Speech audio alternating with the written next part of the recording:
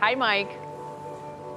Hi, guys. That's right. It might seem a bit unorthodox to get married at this lovely outdoor mall setting, but people get married in weird places and the heart wants what it wants. For example, I didn't know this, but Justin Bieber actually got married on a boat. There you go. See? And that's Justin Bieber.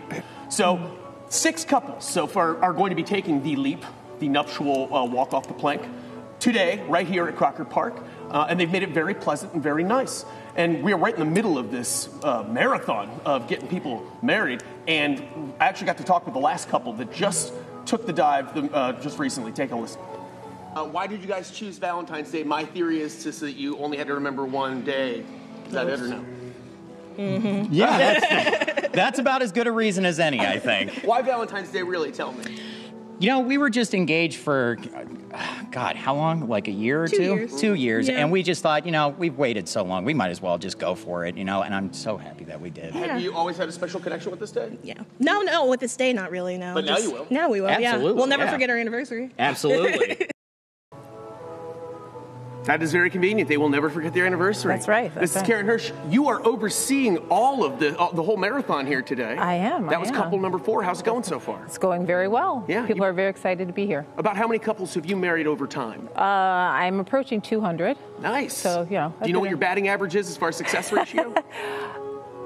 I, don't know. I, right. I, I, I assume they're all still I don't want to. I'm I think they're all cer- still. Certainly they are. Absolutely. Um, you can you tell at this point you've seen four couples so far today. You have two more couples to, to marry up. Can you tell at this point some of the couples you're like I have a lot of uh, uh, faith in this one, and then some of them are like mm, we'll see if this works out. No, no. I think everybody who who who comes, I I see it as everybody who, who wants to be here. They're here for a reason. Yes, So. at least at that moment they're very much in love Yeah, and, and, yeah. and sincere. What do you Yeah. think, based on having dealt with all these couples now? What's the what's the key to a good marriage? You think, based on these people? Oh, oh my goodness. Who seems to be happiest? uh, I think people who communicate well. Yeah. Uh, you know, I think that's important. That's the key.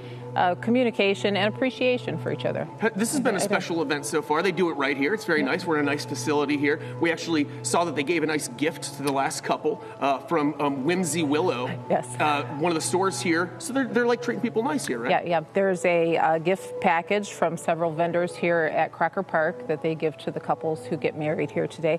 And then there's a grand prize winner of uh, a package from Hyatt Place that has a overnight hotel stay, Wow. massage for two, other gifts. Very nice. Might- Very nice. What might a as well if you're gonna get if you're destined to get married anyway, if Exactly. you're determined to get married, right. might as well maybe get some get pampered a little Yeah, bit. absolutely. Well, thank you for your service and for bringing love to everyone in the greater Cleveland area here on this Valentine's Day. Happy I'm happy. Valentine's to you. Same to you. All Thank right. you. We have more happy couples getting married here, so we got to clear the altar, folks. Back to you guys. Mike,